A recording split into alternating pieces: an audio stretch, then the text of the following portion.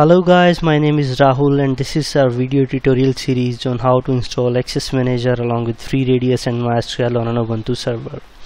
In our two previous videos, we have already installed Access Manager and FreeRadius on our test machine that is connected to my computer through network. I'll just log into that.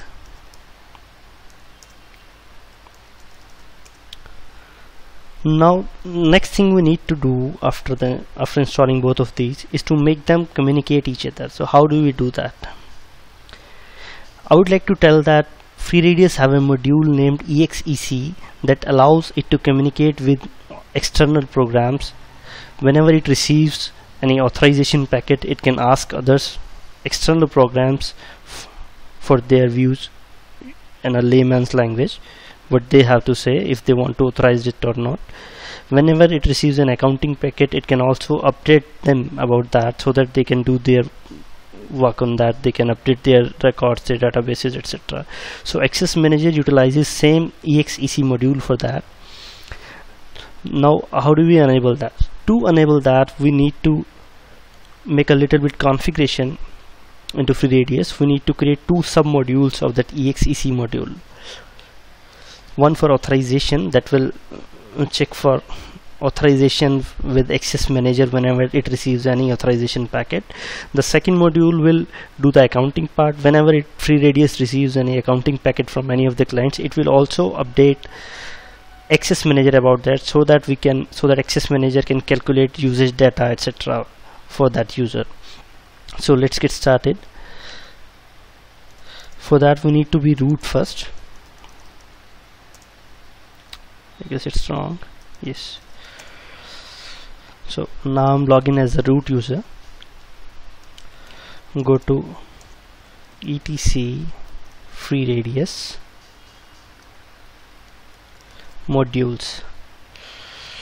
Now when we see here there are a number of modules that FreeRadius uses. Actually FreeRadius is a modular program. Everything every program is a module here so we need to edit exec module.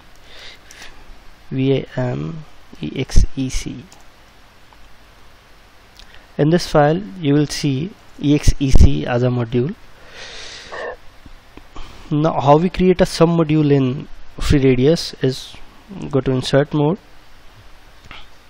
We name it like exec am authorize now within these curly braces whatever we put is will be treated as a submodule of exec named am authorize.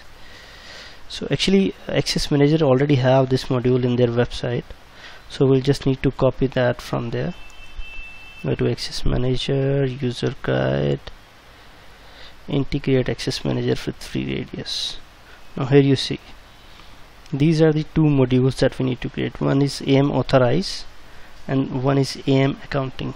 We just need to simply copy them into our file. I'll just delete these lines.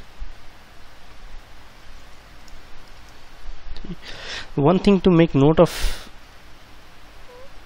here is this this path to the program the first three words this is user bin php which is passed to our php library in our system which which by default is this. If you have installed using apt-get you don't need to change that. And this is the path to our access manager index.php you might remember from our last video when we installed access manager we created a we created this same directory access manager under the www root directory. So this is the correct path. If you have install access manager in some other directory you need to update it accordingly. Okay so this is the authorize module. We also need to copy this accounting thing.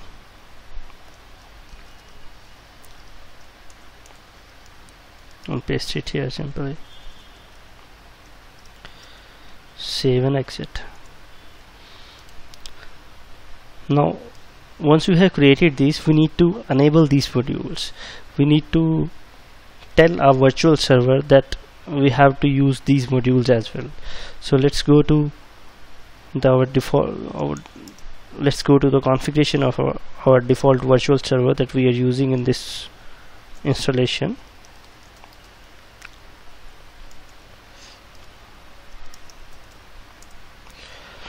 Now in this file we need to enable these modules. The, as the name states we need to enable authorize module within this authorize section.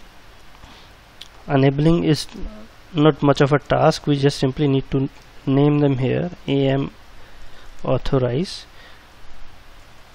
All you need to make sure of is this this am authorize module is enabled before the SQL module.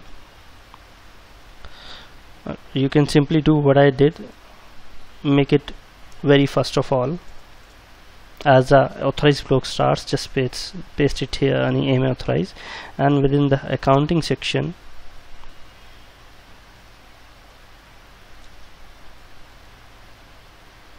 mm -hmm. authenticate.